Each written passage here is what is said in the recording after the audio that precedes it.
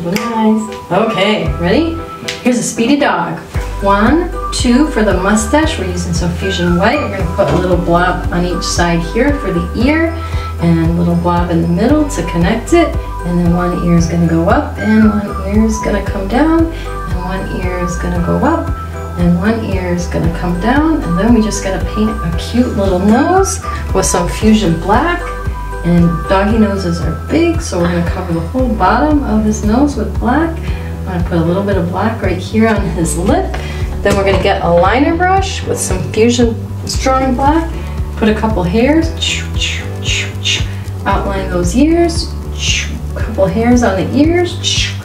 This could also double as a bunny rabbit if you needed something for Easter. And then we're gonna do the muzzle, the muzzle, there, one, two, three, one, two, three, and to make it really look like a dog, we're just gonna add a little tongue with a rainbow cake. It outlines it for you. now you have a little drooling puppy. Can you close your mouth? Oh, you're so cute.